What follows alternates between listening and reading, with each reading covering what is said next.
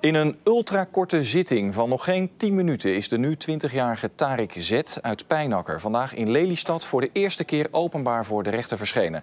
De student van de TU Delft gijzelde op donderdag 29 januari een bewaker van het gebouw op het Hilversumse Mediapark en eiste zendtijd in het journaal van 8 uur, waardoor NPO 1, 2 en 3 lange tijd op zwart gingen.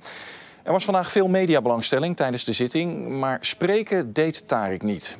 Het ging vandaag dan ook om een proforma-zitting, waar onder meer procedurele zaken aan bod komen.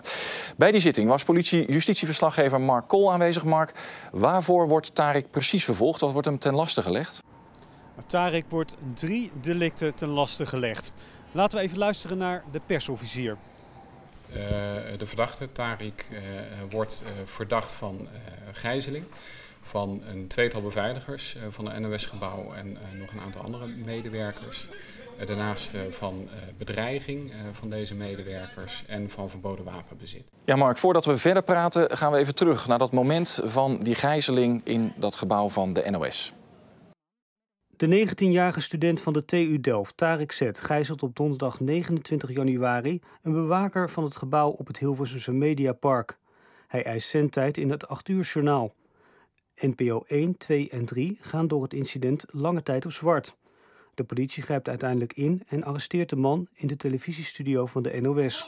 Ik laat het vallen, ik heb het laten vallen, ik heb het laten vallen.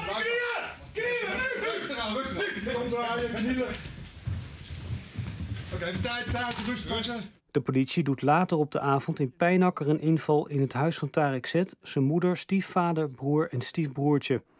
Ook bij het huis van zijn vader in Noodorp wordt een inval gedaan. In de dagen daarna duiken er vreemde filmpjes op van Tarik, waarin hij meedoet aan de Ice Bucket Challenge en waarin hij scènes naspeelt van de science fiction film Inception.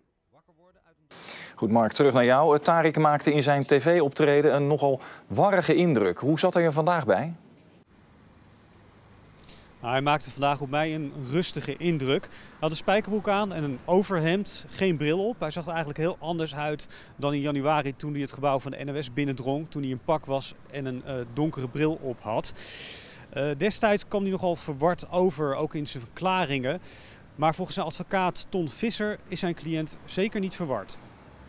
Hij, hij, komt bij mij niet verward over. En, en de precieze kwalificatie is aan de deskundige, de gedragsdeskundige. En hij heeft een, een, een, een steekhoudend verhaal, ja. ja. Dit was vandaag nog maar een tussenstap in het proces. Hoe gaat het nu verder? Er moet nog een persoonlijkheidsonderzoek naar Tarek worden afgerond. En als dat klaar is, dan kan de zaak inhoudelijk op 19 juni worden behandeld. De advocaat van Tarek heeft al laten weten dat zijn cliënt zich dan niet zal beroepen op zijn zwijgrecht en meer duidelijkheid zal geven over de motieven van zijn daad.